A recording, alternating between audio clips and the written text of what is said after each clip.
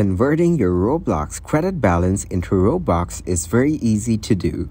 Today I'm gonna show you how to do it. First, open the Roblox from its app or website. Once you're here, click on this icon right next to settings. Then go to buy Robux. Click on the Robux package you want to have. Here, click on redeem Roblox card.